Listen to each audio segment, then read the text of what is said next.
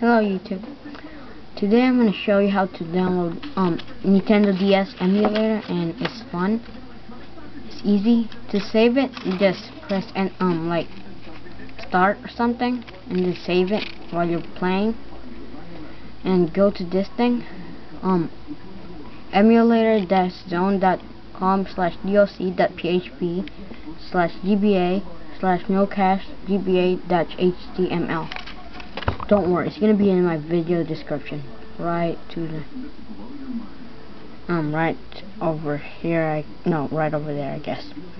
So first click download. It should be in the very bottom one, Nocash GBA. Click it and it should take you to a thing like this. To save. Save it in your desktop because it's gonna be more easier. And it's gonna be real fast like real fast. Okay. So when you're done downloading it, it's gonna be like this, like this. Then um extract files, desktop. Make sure it's in desktop, right? Desktop. Okay. And it's gonna be like this.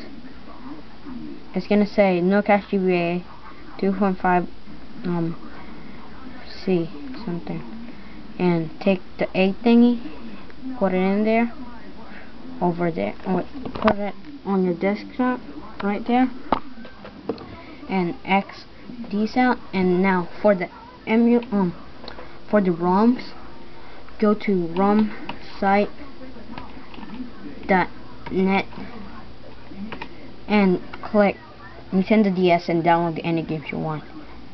So I already download one right here. It's Thrillville extract files desktop okay.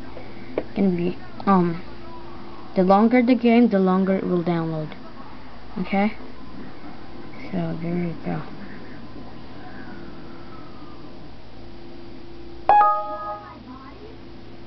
Okay it's gonna be like a folder again.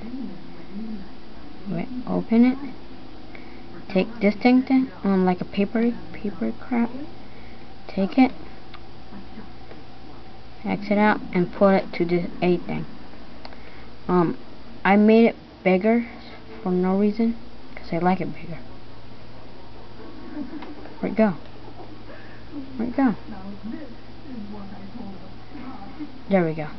Um it's gonna say like error or something. Go to option emulator setup and you see the non thing that thing? Press